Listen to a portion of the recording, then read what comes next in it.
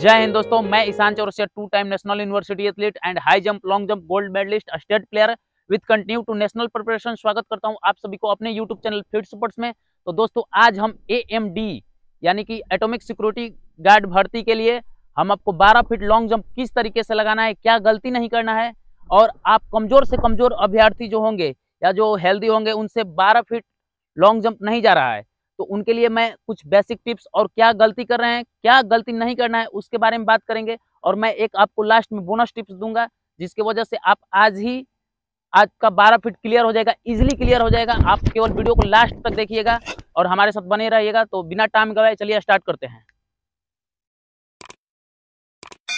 तो दोस्तों, हम लोगों ने मेजर करके ऑलरेडी 12 फीट लगा दिया है और वो आपका टेकअप पॉइंट है और ये 12 फीट लगा हुआ है। बारह फीट लगभग प्लस ही है, लेकिन बारह फीट मान लो तो इसको ये क्लियर करके दिखाएँगे। ये राहुल यादव हैं और मेरा एक अच्छा मित्र हैं, जो कि ये खुद ही फॉर्म फिल किए हैं एटॉमिक सिक्योरिटी गार्ड भर्ती के लिए।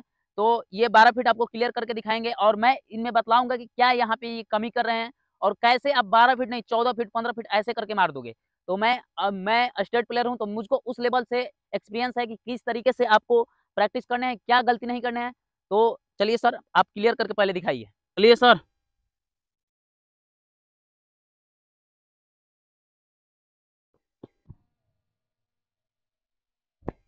गुड। तो दोस्तों, पहले मैं एक लॉन्ग जंप करके दिखा रहा हूँ अपना कि मेरा कितना जा रहा है। मैं काफ़ी दिनों से छोड़ा हुआ है तो पता नहीं कितना जाएगा। पहले मैं तो 20 फीट 23 फीट ऐसे करता था।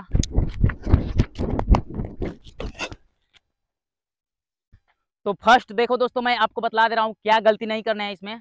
क्योंकि गलती से ही आधे बच्चे तो 12 फीट क्रॉस नहीं कर पाते हैं। 12 फीट बहुत मिनिमम है दोस्तों। आप इसको केवल 15 दिन प्रैक्टिस कर लोगे तो 12 फीट आपका जाने लगेगा। मैं आपको एक्सरसाइज बतलाऊँगा और लेग्स के लिए पावर कैसे लाना है वो भी बतलाऊँगा।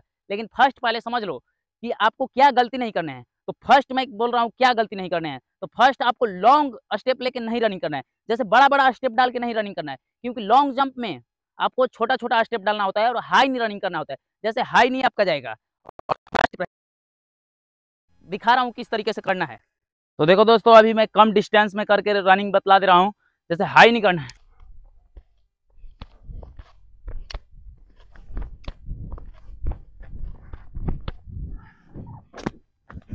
तो दोस्तों, कुछ इस तरीके से हाई नहीं करना है।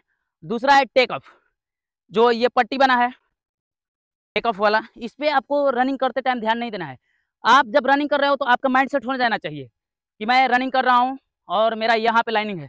क्योंकि लाइनिंग पर ध्यान दोगे, यहाँ पे पट्टी पे तो आपका फाउल होने की ज़्यादा चांसेज हो जाएगी। तो आपका पहले माइंड सेट हो जाना चाहिए कि वहाँ पे लाइनिंग है, जैसे दूर से जब रनिंग कर रहे हो, और आके अपना जंप ले लेना है ठीक है? और हाइट में जंप लेने की कोशिश करना है, देखो, ऐसे। ठीक है? तो सेकेंड कॉमन मिस्टेक ये नहीं करना है। थर्ड है जो मैंने, अभी बिगनर्स के लिए मैंने 90 परसेंट लोग यही गलती करते हैं, क्या है? कि जैसे यहाँ पे जब लैंडिंग करेंगे, उनका लैंडिंग होगा ये और हाथ रख देंगे पीछे में ऐसे। तो इस तरीके से हाथ नहीं रखना है, क्योंकि यहाँ पे हाथ रखोगे काउंट यहाँ से होगा। तो आप तो बारह फीट इजिली हाथ पे क्लियर कर गए, लेकिन हाथ आ गया पीछे ऐसे। तो ये आपका यहाँ से काउंट होगा फिर। यहाँ से मेजर जब होगा तो आपका वो डिस्कालीफाई हो जाइएगा आप। तो देखो किस तरीके से गलती नहीं करना है और कैसे करना है। लास्ट में कोशिश करो आगे जाने के लिए, जितना भी आगे जा सके तुम। तो दोस्तों, इस तरीके से आपका फाउल हो जाएगा। क्योंकि देखो, ये मेरा हाथ पीछे में आ गया। काउंट यहाँ से होगा। तो फिर दिक्कत है फिर दोस्तों। तो क्लियर किससे करना है? देखो। तो आपको इस तरीके से आगे में जाना है। जैसे अपना ये लिए, खींच दिए और इधर साइड में आ जाओ, या इधर साइड में। किधर भी, लेकिन हाथ पीछे नहीं करना है। आपको, आप बॉडी को आगे ले जाइए, जितना हो सकता है। तो दोस्तों मैं जो आपका लॉन्ग जंप नहीं बढ़ रहा है, उसके लिए मैं एक्सरसाइज बता रहा हूँ। कैसे करना है? नॉर्मल एक्सरसाइज है, लेकिन करोगे तो लॉन्ग जंप बढ़ जाएगा इजिली ही। ये एक्सरसाइज प्रॉपर एथलीट करते हैं, जो हम लोग करते हैं। तो कुछ इस तरीके से प्रैक्टिस करना है। देखो, यहाँ पे अपना खड़े हो गए, ठीक है? और ये लेके आगे में जंप करना है जैसे।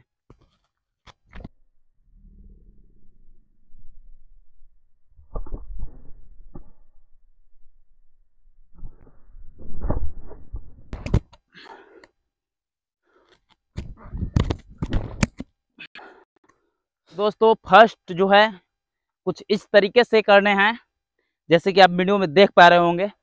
सेकेंड जो मैं बतला रहा हूँ सिंगल लेग है। कैसे करना है, मैं दिखा दे रहा हूँ। सर इधर करिए।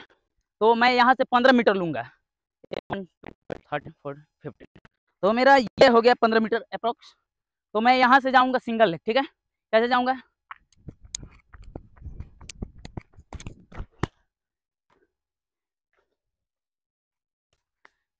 तो कुछ इस तरीके से प्रैक्टिस करने हैं आपको। कैसे करना है? एक बार और मैं दिखा दे रहा हूँ।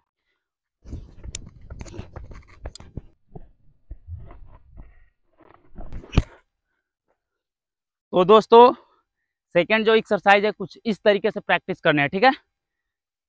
तो जो, दोस्तों, जो थर्ड एक्सरसाइज है, ये चेस्ट टक एक्सरसाइज है। आप इसको करोगे तो आपका लॉन्ग जंप इजीली निकलेगा। तो देखो किस तरीके से करना है। अपने ये घुटने को चेस्ट में टच करना है, किस तरीके से देखो।